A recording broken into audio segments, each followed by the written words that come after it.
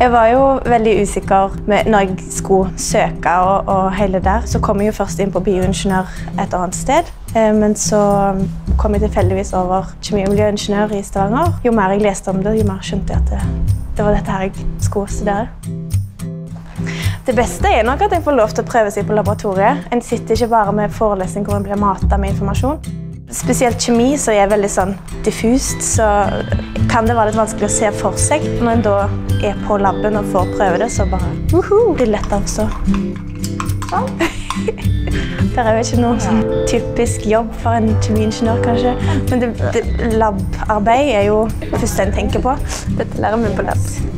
Og da kan en jo jobbe alt fra medisin til olje eller matindustrien.